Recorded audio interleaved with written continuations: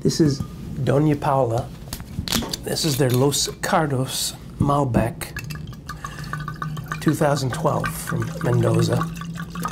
So uh, the Los Cardos wines are the uh, really the value line from Doña Paula. Um, but in spite of their uh, very modest price tags, uh, these grapes are sourced right from the same vineyards that they source all of their uh, grapes for their higher priced wines. All estate grown fruit.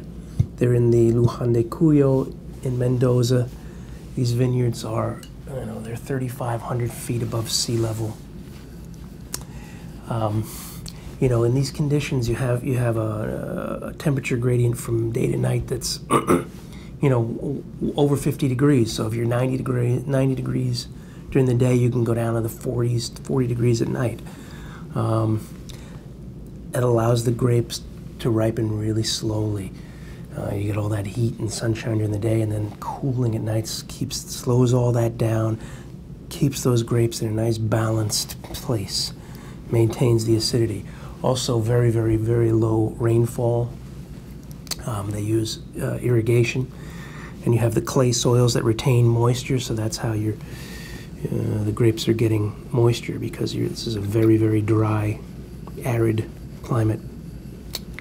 But ultimately, and what you end, when you end up with are really nice, really full-flavored, well-developed Malbec grapes.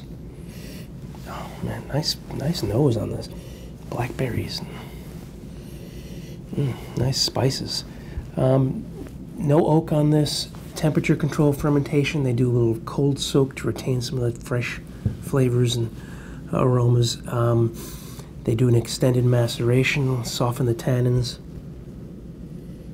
And uh, yeah, really nice. I'm getting notes of uh, blackberry, black cherry, some hints of licorice, spice minerals. It's very nice. Let's try it.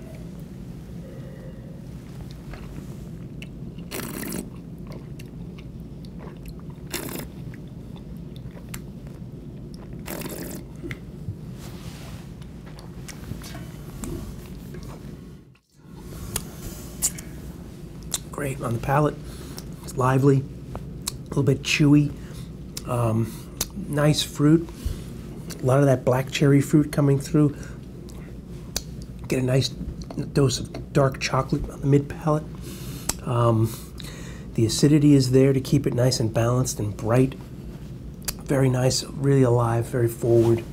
Um, you know, match this up with all kinds of different foods. It's great with meat dishes. Enjoy.